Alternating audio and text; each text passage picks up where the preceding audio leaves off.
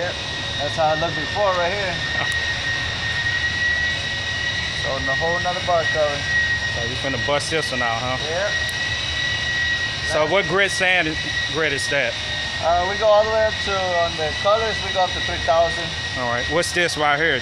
This one right here? Yeah. We got 3,000. This 3,000? All right. Yeah, because we start with hand sand and then we uh, do a mini DA 3000 Uh-huh. just to get out the hand scratches and then from there buff it out with the turbo. And like I said, the last three that I just did with the turbo, it worked good. So no complaint yet. Yeah.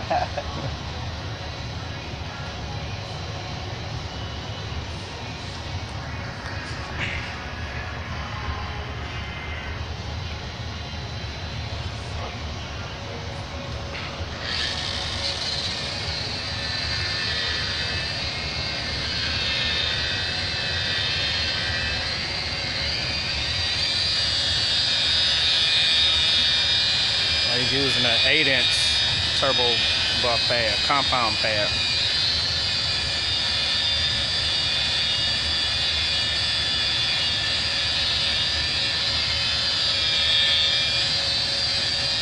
We're here at MTI, Marine Technology Corporation, right here in Wentzville, Missouri.